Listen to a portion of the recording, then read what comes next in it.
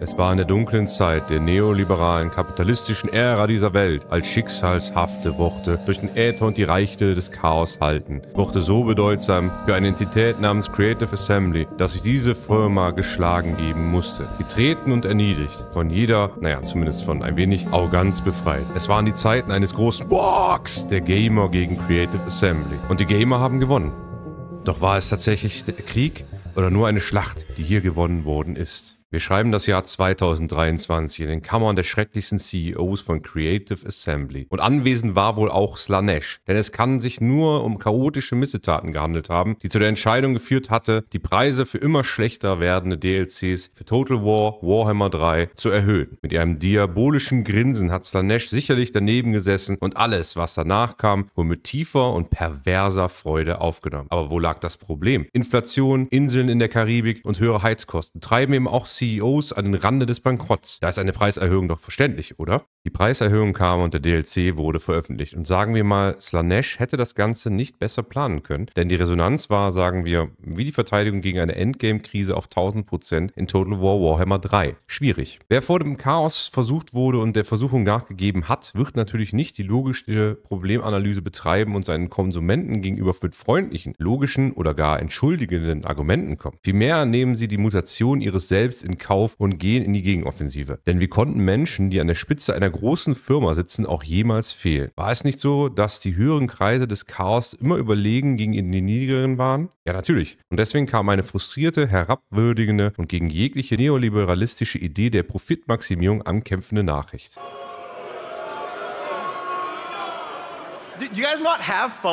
Nein, nein, nicht die auch wenn die eher nicht dämlich war, sondern The right to discuss is a privilege. It is not an entitlement you earn by playing the game. Und die Reaktion war natürlich umso drastischer. Der Shitstorm eskalierte immer mehr. Solche Aussagen führen berechtigterweise zu einer Gegenreaktion. Und das kann man auf verschiedenen Ebenen verstehen. Zum Beispiel der psychologischen Ebene. Kein Mensch reagiert auf eine derart überhebliche und von oben herab getätigte Aussage, die inhaltlich nur von einer privilegierten Gruppe von Elfenbeinturmbewohnern, ja, ihr seid gemeint, ihr bösen Hochelfen, getätigt werden konnte, mit Verständnis oder ohne Trotz. Aber zweitens ist für mich viel wichtiger. Wir reden von einer Firma, die Produkte an Konsumenten veräußert und durch die Wirkung des Chaos nicht realisiert, dass das bedeutet, dass sie ein Guthaben, das nur relevant ist, wenn es eine Nachfrage dafür gibt. Das ist also so, als wenn ein Produkt bei Amazon mit einem Stern bewertet wird und der Produzent dann mit das Recht, mein Produkt zu bewerten, ist ein Privileg antwortet. Nein, keinesfalls. Es ist ein Spiegel deines Produktes und da setzen wir jetzt richtig an.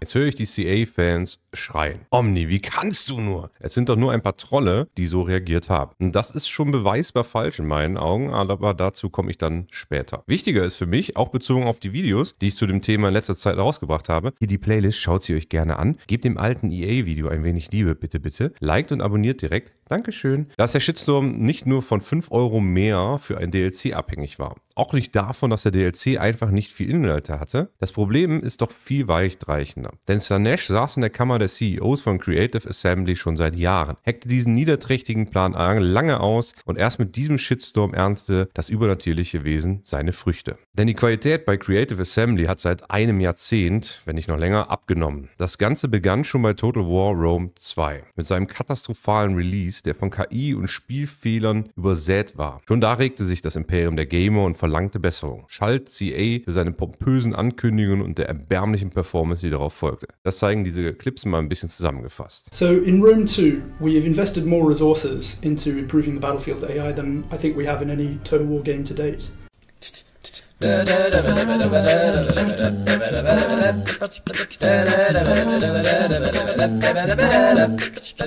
Fixing bugs, polishing and iterating on what we, we've had previously. Und Rome 2 war ja nur die Spitze des Eisberges. Es war ja nach Fixes ein gutes Spiel, in dem ich auch hunderte Stunden, vor allem mit Mods, ne, die wieder in Emperor, wer es kennt, verbracht habe. Aber die Mechaniken, die zu Recht kritisiert wurden, wurden auch in den nächsten Spielen übernommen. Creative Assembly hat also ganz bewusst seine Scheuklappen angezogen, um Sanesh gefällig zu sein und weiter die Linie zu fahren, die sie eingeschlagen hatten. Jedes weitere Spiel wurde auf der strategischen Karte weiter eingestampft und die Kämpfe wurden einfacher bzw. immer ähnlicher. Natürlich waren es alles trotzdem gute Spiele irgendwo, wie zum Beispiel Free Kick Kingdoms, aber jeder normale Gamer des Imperiums hatte doch irgendwann dieses Gefühl, das Ganze schon mal gesehen zu haben. Nichts Neues geboten zu bekommen, aber immer mehr Blood and Gore oder einzelne Fraktions-DLCs bezahlen zu müssen, die offensichtlich vor dem Release bereits fertiggestellt worden waren. Es gab schon früh diese lächerlichen Pre-Order-DLC, die den Unmut schürten. Und deshalb komme ich auf euch zurück, die kritisch mit meinem Geschwafel umgehen. Es waren keine Trolls. Es waren Gamer, die über ein Jahrzehnt und mehr eine geliebte Firma verfolgt haben, treu ihre Spiele gekauft haben und deren berechtigte Kritik immer wieder übergangen worden war. Diese Reaktion auf ein Statement, das derart frech und von neoliberalistischer, privilegierter Sichtweise geprägt war, war einfach das natürliche Resultat von aufgesteuerter Frustration. Und ich bin ehrlich, ich kann das nachvollziehen, auch wenn ich selber nur am Rande stand und dachte, das musste ja irgendwann so kommen. Bevor ich mich jetzt in meiner anekdotischen Evidenz verliere, wie ein Philosoph sich über die Herrlichkeit Sigmas verliert, gehen wir aber erstmal darauf ein, wieso es so lange dauert, bis der Shitstorm in diese massiven Form kam. Eine kühne Behauptung, aber ich lebe halt immer am Rande des Wahnsinns. Naja, so krass ist diese Aussage einfach nicht. Ich glaube, dass die meisten von euch relativ einfach nachvollziehen können, was ich hier meine. Denn Warhammer Total War hat Creative Assembly wieder einen massiven Aufschwung gebracht. Das lag aber nicht an krassen, dynamischen und modernen Neuerungen, die Creative Assembly in der Entwicklung hatte. Das System baute noch immer auf dem von Rome 2 oder Rome 2s mechanischen Gerüst auf und hatte nach wie vor die gleichen haarsträubenden Dinge, die mich als Spieler öfter zum Kopfschütteln brachten oder frustrierten. Was das das Spiel aber genial machte, war die unglaubliche Vielfalt an Völkern, Einheiten und die Story, die Warhammer als eine der ältesten Fantasy-Franchises mit sich brachte. In dem Sinne war Sigma also mit Creative Assembly, denn sie erschlossen damit einen gigantischen Markt und ein riesiges neues Publikum. Da war auch auf jeden Fall ein engagierter und schlauer Kapitalist an dieser Entscheidung beteiligt. Das kann man denen so lassen. Ich war sehr skeptisch und konnte mir auch nie mehr als eine ausgedehnte Runde am Stück geben, aber spätestens mit dem Immortal Empires Update durch Warhammer Warhammer 2 war auch ich durch den immensen Wiederspielwert gehuckt. Aber Omni, das hört sich doch super für alle Beteiligten an. Wieso sagst du dann, leider hat's das gerettet? Höre ich euch liebevoll säuseln. Lasst mich erklären, oh Mitbürger des von Sigma gesegneten Imperiums. Das leider hat, hat natürlich eine reißerische Komponente, um euch ein bisschen zu triggern. Hehe, so ehrlich bin ich natürlich. Aber es hat auch eine logische Komponente. Denn wäre die Lizenz von Warhammer nicht gewesen, dann behaupte ich, hätte Creative Assembly sicherlich schon 2016 oder 2017 mit dem nächsten gleichwirkenden historischen Ableger weniger Profit gemacht. Creative Assembly hätte also umdenken müssen, neue Wege im strategischen und mechanischen Design einschlagen müssen, der fundamentaler war als bei Warhammer Total War, wo die Entscheidung im Empire Building sich ungefähr so anfühlte, als wenn man mit, mit Lego einen Eimer-1-Turm aufbaut. Will heißen, die Entscheidungsfreiheit und Trächtigkeit ist extrem gering geworden. Vielleicht wäre es auch schon zu einem Shitstorm oder irgendetwas in der Art gekommen. So aber staute sich die Stagnation im Game Design genauso auf wie die Frustration der Gamer und die Entladung war dann umso heftiger. Ich sagte ja bereits, dass es beweisbar falsch ist, dass nur Trolle ihren Unmut laut gemacht haben. Denn Creative Assembly hat sich tatsächlich entschuldigt. Das muss man sich erstmal auf der Zunge zergehen lassen. Und jeder, der denkt, dass sie das aus Nettigkeit getan haben, sollte wirklich mehr Warhammer-Literatur lesen, denn dieses Universum von Warhammer ist genauso wenig nett wie unsere tatsächliche Erde hier. Man hat ganz klar gemerkt, dass man einen oder mehrere Schritte zu weit gegangen ist oder war und da man dadurch im P Bereich PR und im Umsatz starke Einbußen eingefahren hat bzw. einfahren würde oder könnte. Es ist natürlich nur richtig, dass sich die Firma bei den Spielern entschuldigt, die einem Wag jede Ehre gemacht haben und als unprivilegierte Trolle gegen die mächtigen Hochelfen im Porzellanturm angerannt sind. Die Gamer haben also nach all den Jahren durch diesen massiven Aufschrei erreicht, dass sich eine wie Creative Assembly entschuldigte und sogar kostenlose Inhalte für ihre alten Spiele verspricht. Ich spiele ja ab und an gerne Warhammer 3 und muss mir diese Inhalte auf jeden Fall mal anschauen.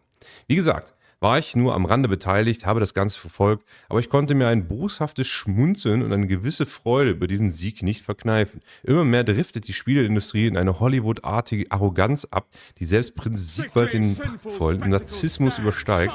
Und da ist es einfach eine perverse Freude, wenn eine Firma etwas von dieser Hybris ablegen muss, auch wenn es nur für PR-Zwecke sein muss.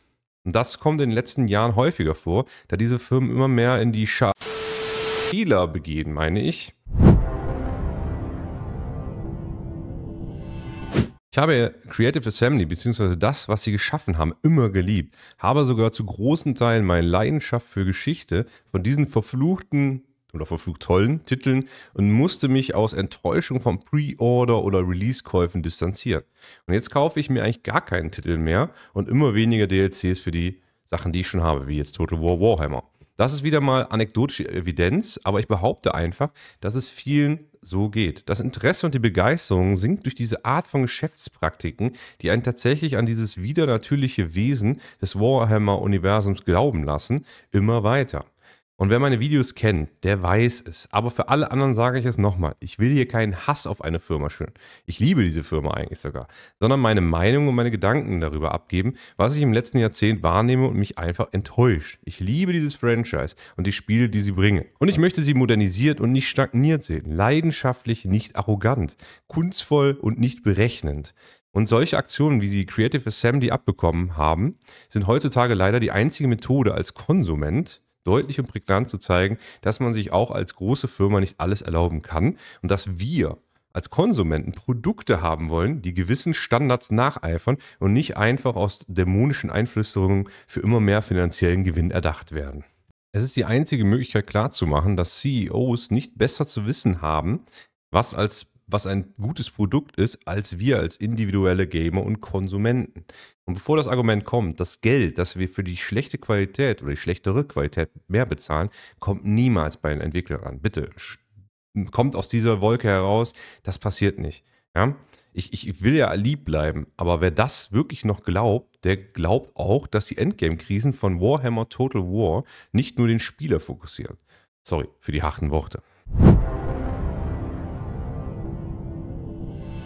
Wie immer will ich eure Meinung hören. Gönnt mir und dem Algorithmus eure Kommentare. Gebt mir saures oder süßes, Daumen hoch oder runter. Wie habt ihr das Ganze empfunden? Welches ist euer Lieblings-Total War? Ab wann habt ihr vielleicht aufgehört, die Titel zu kaufen? Ab wann fandet ihr sie nicht mehr so gut? Wie immer sage ich vielen Dank fürs Zuschauen und verbleibe euer Renting Omni.